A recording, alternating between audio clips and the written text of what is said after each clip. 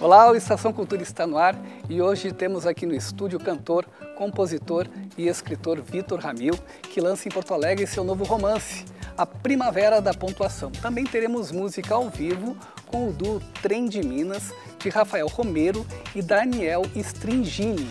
E começamos com a Orquestra Sinfônica de Porto Alegre, que realiza concerto hoje aqui na capital. Confira na reportagem.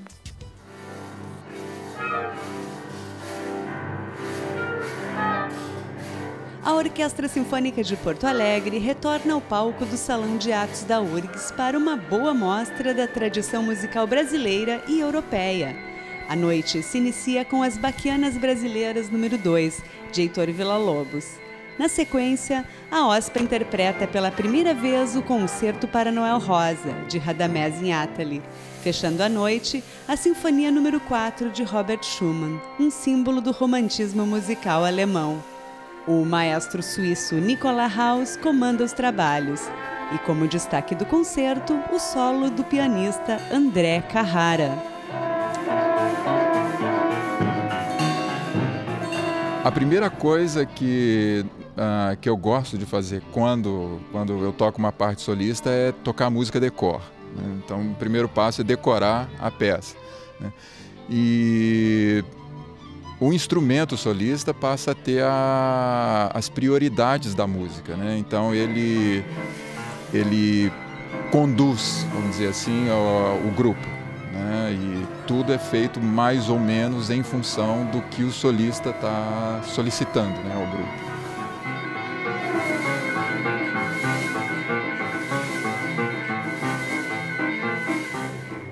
Diversas vezes, a OSPA já esteve sob a batuta de House. O diferencial agora é que o maestro foi apresentado à obra de Noel Rosa e se encantou com as composições do Carioca. Para mim ha sido formidable esto porque yo no conocía ni el nombre de Noel Rosa, ¿no? Y entonces he escuchado esas tres canciones y, y me gusta muchísimo. Realmente, y además he leído sobre Noel Rosa y, y yo pienso esa manera de vivir, un hombre que fue conocido a partir de los 20 años, porque a partir de los 12 años empezó ya a, a, ir a los cabarets y a tocar, etcétera, pero recién logró la fama a los 20 años y murió a los 27. Pero sin embargo, eh, digamos, yo me imagino la vida de que pudo, haber sido por ahí por 1930 ese tipo de gente viviendo una vida realmente de bohemia, ¿no? Y sin embargo, de mucha producción, porque 250 y canciones este, que tienen eh, un jeito formidable.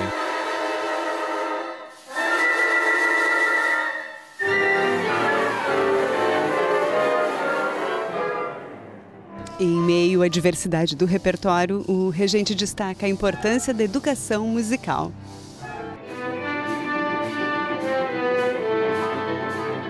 La gente que tiene educación musical, después mismo si no vive de la música, porque bueno, si necesita la, que la gente trabaja en mil cosas en un país, si tiene educación musical va a tener algo en su vida que no va a ser su trabajo, que no va a ser política, que no va a ser eh, eh, televisión, que lo va a poder ocupar y que le va a dar un sentido a su vida.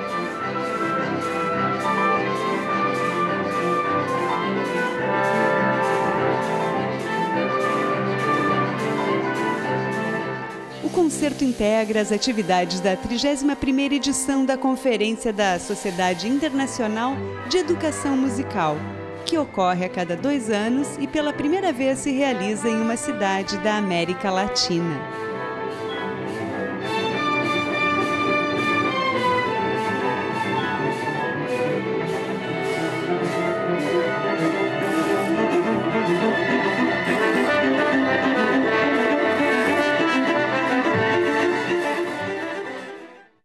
E agora vamos falar de literatura. Vitor Ramil lança hoje às 7 horas da noite, na Livraria Cultura, aqui em Porto Alegre, o seu terceiro romance, romance A Primavera da Pontuação. Tudo bem, Vitor? Tudo, tudo bem. Uh, a gente tem uma ideia, assim, do início já do romance, que conta a história de um ponto que foi atropelado por uma palavra caminhão. Como é que surgiu tudo isso, uh, toda essa história uh, que envolve este romance? Olha, eu acho que surgiu de provavelmente uma conversa nossa em casa. A gente às vezes usa essa expressão atropelar a pontuação quando tem um texto mal pontuado, né? Como a minha mulher é professora e está volta e meia revisando trabalhos e, e, a gente conversa muito sobre, sobre esse tipo de assunto, provavelmente algum dia surgiu isso, ah, não sei o que, fulano atropelou a pontuação, olha esse texto, alguma coisa assim. E, e aí me veio essa ideia, quando falei em atropelar a pontuação, eu, eu logo fui lá e escrevi essa frase. Certa manhã pintou-se um quadro negro, uma palavra caminhão, blá, blá, atropelou um ponto num, numa esquina de frases. E aí eu comecei a desenvolver, né? Esse, esse atropelamento desse, desse ponto provoca uma, uma, uma espécie de revolta na pontuação que estava na volta, ali presente e tal, e se transforma num caos social. E aí eu fui e os personagens são esses, o ponto, o ponto de exclamação, uma palavra. Claro. Eu logo, quando, quando tive esse insight, eu logo percebi que o mundo da gramática, ele, a nomenclatura, tudo isso era muito sugestivo, né? É, e que eu poderia criar toda uma espécie de fábula falando do, do, homem, de nós, da nossa sociedade, mas se passando num mundo da gramática, da língua portuguesa e tudo mais. Aqui a gente tem é, a capa do livro, e, e, o livro também tem um projeto gráfico super interessante, né? Em seguida, uh, a gente mostra aqui, em que a própria pontuação foi deslocada, né? Uh, do contexto uh, da uhum. frase, é, desde, criando desde, estranhamento. Claro, desde que eu entreguei o livro lá na editora que havia essa, essa ideia de se fazer alguma coisa com a, com a pontuação, né? Dentro do, do livro. Chegou a haver a ideia de colorir o ponto e tal. E no final vingou essa ideia de, de, fazer o ponto fora da linha, vamos dizer assim, em negrito, maior um pouco. E ficou bonito, fica, graficamente ficou um objeto bonito. E, e acho que acrescentou, né? Porque a pontuação é o tema e ao mesmo tempo tu está com o objeto na mão, né? Quer dizer, então ficou, ficou um livro objeto muito interessante, eu acho. Vitor, uh, duas questões aqui. Né? Há, romances que se, preocupam, que se preocupam com a linguagem, outros com a história. Aqui você está meio que fazendo uma fusão dessas duas questões. Né? Acho que sim, até porque é, gostei muito de construir a história, independentemente de ser uma coisa que tem que se diz metalinguagem, quer dizer, eu estou falando do, é, da, da, da, própria, da, da própria língua, do, da, da, pontuação, das palavras, de conceitos da língua portuguesa e tal, mas eu me diverti muito com a trama, é uma história que brinca um pouco com, a, com as fábulas, tem rei, tem rainha, né? Tem, é, é, um pouco como uma farsa teatral também, tem muita ação, personagens que entram e saem, traições, muita coisa. E me diverti muito com, esse, com, com os jogos de palavras né, que eu posso fazer, que, que a gramática me permite fazer todo o tempo e também com a trama, com o que acontece, sabe, com, com, com esses, esses personagens que são super, eu acho, engraçados, sabe, foi, foi um prazer fazer esse livro. Foi então, o teu bom. processo de criação como é que é? Assim, ele, quando você se dedica a um projeto, uh, vai até o fim ou deixa uma ideia lá plantada, depois é, retoma? deixo plantar. É. Eu pego, por exemplo, esse livro eu comecei em 2002, né? Eu tive esse insight que eu te falei, fiz essa frase inicial e logo que eu vi esse que eu tinha essa essa eu, eu vislumbrei o que, que eu poderia fazer com aquilo ali eu parti para uma pesquisa. Eu sabia que essa pesquisa ia ser demorada, que eu ia ter que estudar, que eu ia ter que ler muitos livros, que eu ia ter que re reabrir as gramáticas, porque a gente não tem as gramáticas assim é, na ordem do dia. Essa coisa que a gente estudou no, no, no, no colégio, enfim. Eu sabia que eu ia ter que ter um tempo para voltar para isso e, e, que eu ia ter que fazer com calma todo esse trabalho. Nesse meio tempo eu fiz dois discos, fiz outro livro, Satolep, e esse trabalho foi ficando lá. De vez em quando eu ia, fazia, dava uma pesquisada, uma estudava. Aí depois que saiu o Satolep, então aí eu me dediquei mais ao livro, aí eu comecei a trabalhar mais rotineiramente. Aí todo dia, quando eu não estava viajando por motivo de show ou gravando disco, alguma coisa assim, então eu ficava em casa trabalhando. Aí as minhas leituras que seriam mais variadas, ficaram muito concentradas né, nesse universo aí que eu ia trabalhar. O livro tem também algumas provocações com o leitor aqui no final, né? um, um glosação. Glosação, é. É porque, porque lá a minha editora, Heloísa Ian, achou que seria interessante se o leitor pudesse ter uma espécie de um glossário no final do livro, porque tem muitas palavras que são ou da, da, da gramática ou da linguística mais avançada, assim, que que, que a pessoa não vai saber, ela vai chegar ali e vai dizer, opa, o que, que é isso exatamente? Ou eu não lembro ou eu não sei.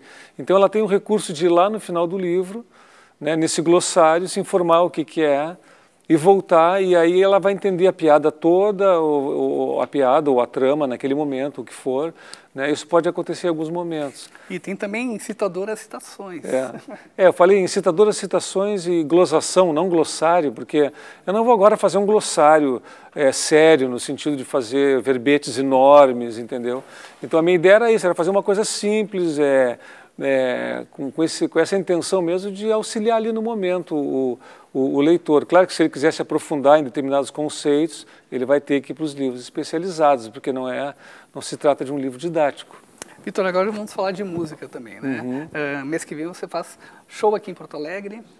É, na, nos dias 9 e 10 de agosto, eu faço um show que eu tinha muita vontade de fazer em Porto Alegre, que é reunir o Carlos Moscardini, um argentino que toca comigo, violonista, e o Marco Suzano, percussionista carioca, com quem eu fiz um, um outro disco, Satolep Sambatal, e mais o Ian, meu filho, Ian Ramil.